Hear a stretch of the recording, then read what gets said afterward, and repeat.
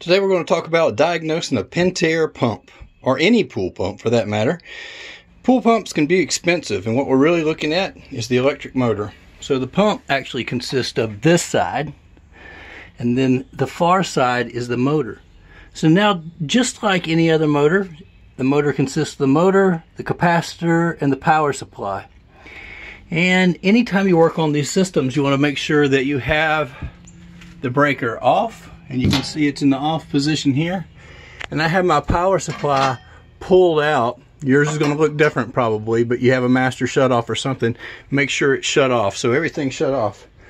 So one of the things you want to make sure that you do is you want to see if that pump will spin. And let me show you how to do that. All right. We want to make sure that the pump will spin by taking a look right in here Take your skimmer basket off. Take it out. It's going to look different for different models, probably. And make sure the power's off. As I said, not just the breaker, but all the power's off. And you can reach your hand in here and you can spin actually there's a tube in there that you can spin and that's indicating that your impeller is spinning and that your motor is not stuck.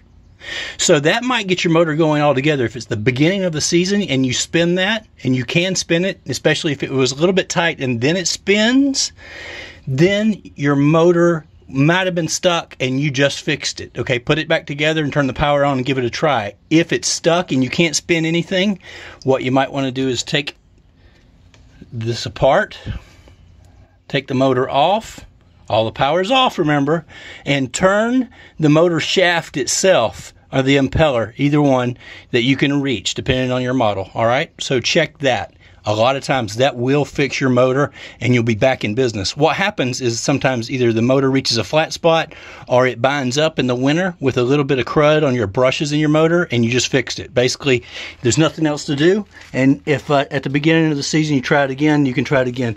A way to avoid that is uh, every month during the winter, turn on the power to your pump for just a little bit and, and just get it going. And it will keep that free throughout the winter.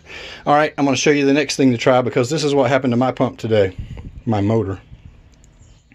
The capacitor sometimes will go bad. So it takes a lot of electricity to start these motors. And just like your air conditioning motor on your house, you see on top, do you see that hump on top? That's a capacitor.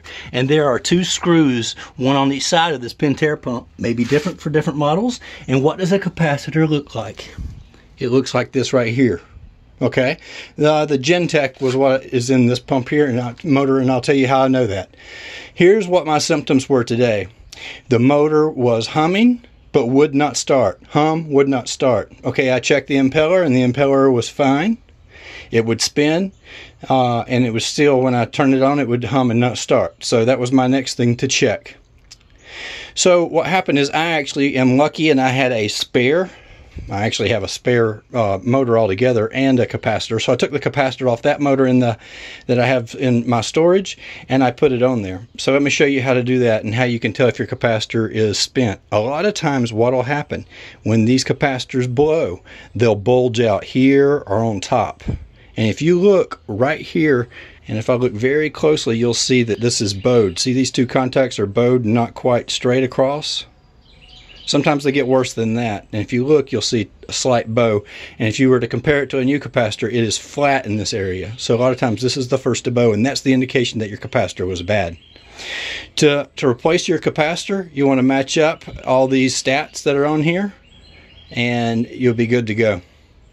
On this motor, it's a two-speed motor. There are only two wires all right and I the the black wire was on the right side of the motor and the brown wire was on the left. Sometimes these are positive negative and, and sometimes maybe it doesn't matter.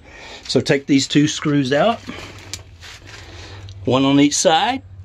Take this cover off. I've already done that. And put your new capacitor on. And there's some clips back there for your wires. Simply slide those on. Put everything back together. You might want to wait on this just to check and give it a spin. If it works, then put this back on. So that's some easy ways that you can troubleshoot your pool motor and you can save yourself a lot of money. Please like, share, and make sure you subscribe because I don't even have enough subscribers right now to make money on YouTube. And every subscriber makes a difference. Thanks so much for watching. Take care and be safe.